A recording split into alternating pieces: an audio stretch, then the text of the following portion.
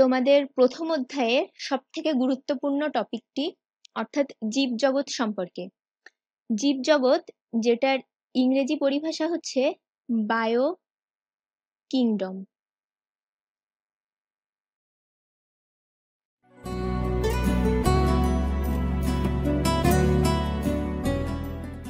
এখানে আমরা সমস্ত জীবজগৎকে দুটি সুপার কিংডমে ভাগ করেছি। যার প্রথমটি হচ্ছে প্রোক্যারিওটা এবং দ্বিতীয়টি হচ্ছে ইউক্যারিওটা। এই জীবজগৎ পদ্ধতিটি মার্গুলিসের জীবজগৎ পদ্ধতি।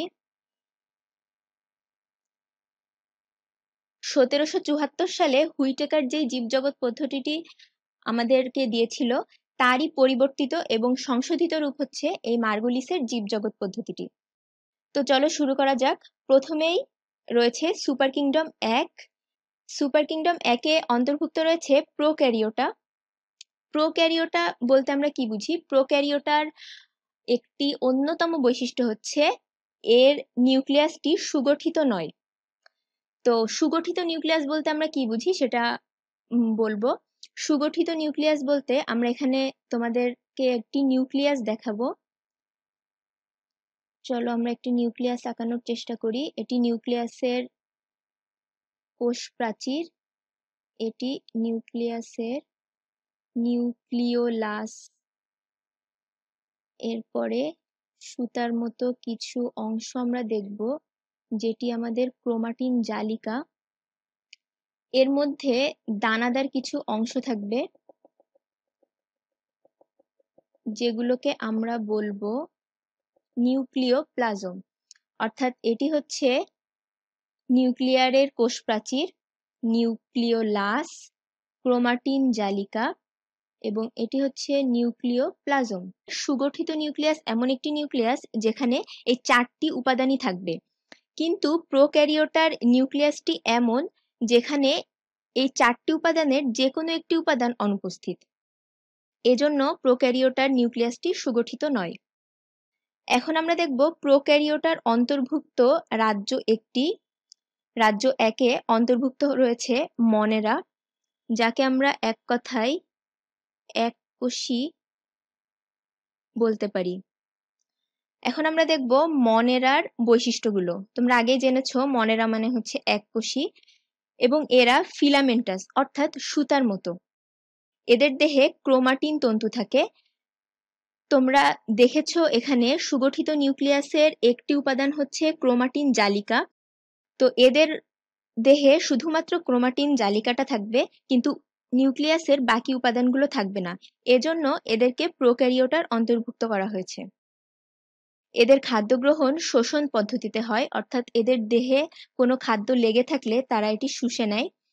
এদের কোষ বিভাজনটি দ্বিবিভাজন প্রক্রিয়ায় হয়, অর্থাৎ এদের একটি কোষ থেকে দুটি অপত্য কোষ সৃষ্টি হয়। একটি মাদার সেল থেকে দুটি ডটার সেল তৈরি হলে মাদার সেলটি বাদ হয়ে যায়।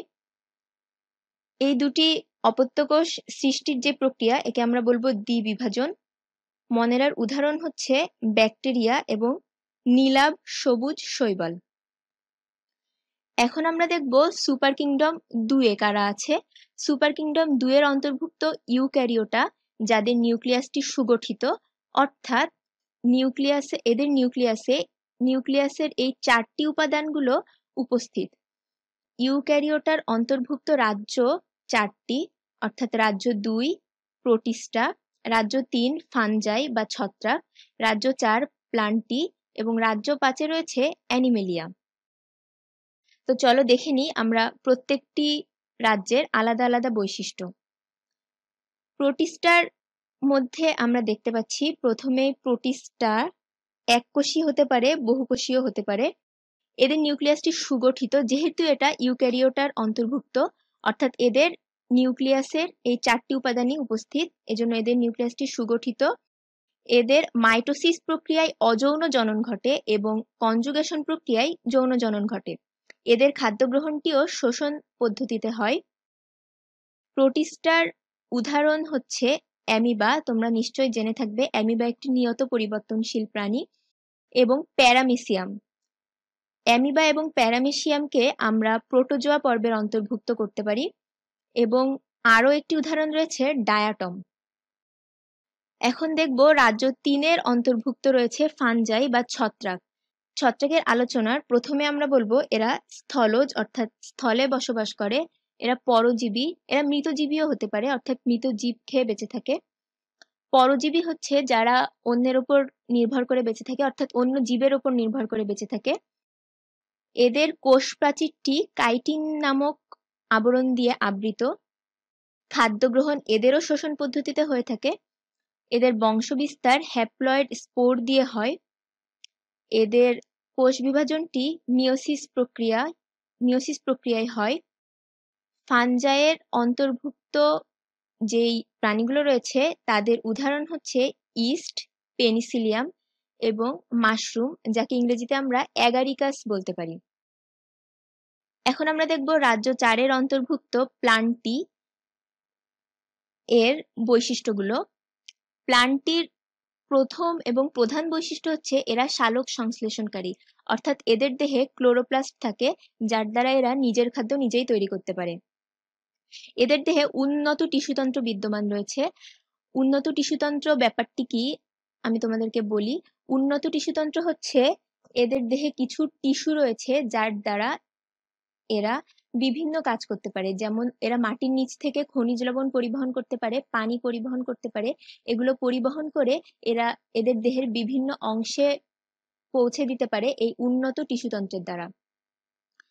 এদের যৌন জননটি অ্যানাইসোগ্যামাস ধরনের। অ্যানাইসোগ্যামাস বলতে আমরা বুঝি ডিফারেন্ট দুইটি কোষ, পুংজনন এবং স্ত্রী জনন কোষ দুটি ডিফারেন্ট টাইপের এজন্য এদের যৌন জননটি অ্যানাইসোগ্যামাস পদ্ধতিতে হয়।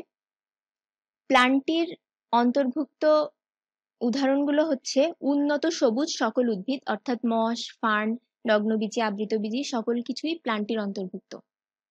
এবং বহুকোষী শৈবাল। তোমরা আগে দেখেছ, এককোষী শৈবাল অর্থাৎ নীলাভ সবুজ শৈবাল, যেটা মনেরার অন্তর্ভুক্ত, এবং বহুকোষী শৈবাল, এগুলো প্লান্টির অন্তর্ভুক্ত। এখন আমরা দেখব রাজ্য পাঁচ, অর্থাৎ অ্যানিমেলিয়া সম্পর্কে। অ্যানিমেলিয়ার বৈশিষ্ট্যের প্রথমেই আমরা জানব, এরা মেরুদণ্ডীয় হতে পারে, অমেরুদণ্ডীয় হতে পারে। এদের দেহে জটিল টিস্যুতন্ত্র বিদ্যমান, অর্থাৎ এদের দেহে যে সকল কাজ রয়েছে তা করতে অনেক বেশি জটিল ধরনের টিস্যু দরকার। যেহেতু এদের দেহে ক্লোরোপ্লাস্ট প্লাস্টিড কিছুই নেই, অর্থাৎ এরা নিজের খাদ্য নিজে তৈরি করতে পারে না। এজন্য এদের কাজ, দেহের অভ্যন্তরীণ কাজগুলো করার জন্য জটিল টিস্যুতন্ত্রের দরকার। এরা হেটেরোট্রফিক অর্থাৎ এরা নিজের খাদ্য নিজে তৈরি করতে পারে না। এরা খাদ্য তৈরির জন্য প্রকৃতিগতভাবেই উদ্ভিদের ওপর নির্ভরশীল। এদের যৌন জনন হয়, এদের ভ্রূণীয় স্তর রয়েছে। অর্থাৎ এদের অন্তর্ভুক্ত যারা রয়েছে, যেমন মানুষ আমাদের তিনটি স্তর একটোডার্ম এন্ডোডার্ম এবং মেসোডার্ম আবার অ্যামিবা রয়েছে, যেটি দ্বিস্তরী প্রাণী বা ডিপ্লোব্লাস্টিক প্রাণী। এই স্লাইড থেকে আমরা জানলাম মার্গুলিসের জীবজগৎ পদ্ধতির অন্তর্ভুক্ত যে সকল সুপার কিংডম এবং রাজ্যগুলো রয়েছে, তাদের বৈশিষ্ট্য এবং উদাহরণ সম্পর্কে।